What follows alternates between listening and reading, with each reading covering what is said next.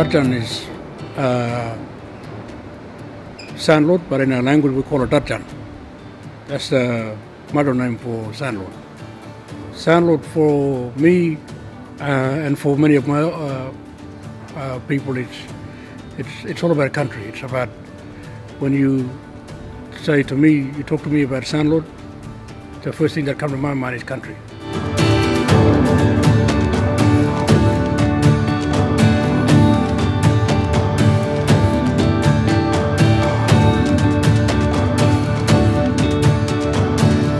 The reason for working with the Dutjahn Custodians was we saw a very unique opportunity uh, and something that the industry has never seen in regards to sandalwood in Australia before is that business relationship between the corporate side of things with investment plantations and the indigenous side of things out there in the lands that they've been basically managing by themselves for tens of thousands of years.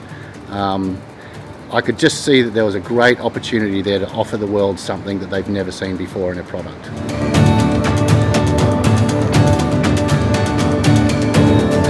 We are doing business differently to other businesses in our, you know, at the very beginning, we're giving back.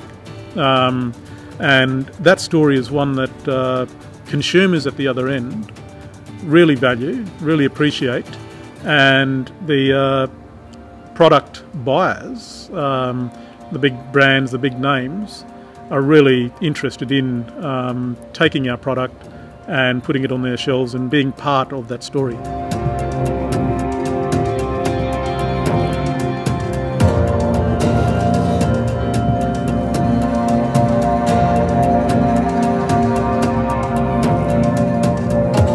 Us as growers of plantation sandalwood um, and a focus on a sustainable renewable resource, um, we've always watched to some degree from afar um, what's been happening in the wildwood industry and the gatekeepers being the native title holders of that treasured historical resource. This partnership for the first time allows those two to be brought together in something that is utterly unique to the marketplace It'll provide something that is a certified resource from the harvest through to the oil um, from what we believe is an ongoing and sustainable market. Uh, what we've known for centuries is that Aboriginal people know how to manage country. They are the ultimate when it comes to natural resource management uh, and that wild crop of sandalwood is there uh, for the sustainable use of Aboriginal people and we've seen that over the years and uh, I'm just so delighted that after what has been a long period of time uh, that here at Dutjahn we're now producing uh, our first pour uh, and this is going to provide uh, Aboriginal people with opportunities. It smells fabulous in its relatively raw form and the wonderful fragrance that you've got, but then to realise that this can be the base of so many beautiful perfumes, very expensive perfumes, that then enables people in other countries right across the world to be able to connect with, with the Aboriginal culture of Western Australia.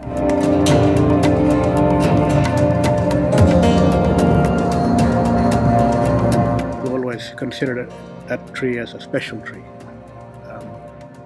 tree of healing, um, spiritual healing, physical healing. That's why it's really special to our culture. We just want to show the world that it's a special tree and we, we want the whole world to enjoy it, you know. Just like our, our people enjoyed it, been uh, part of it for many thousands of years. Yeah.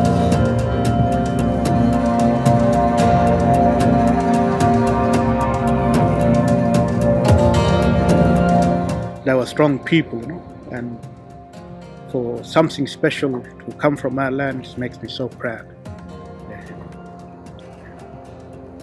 Um, to work so hard and at it with um, remembering them and um, they are my inspiration, the old people.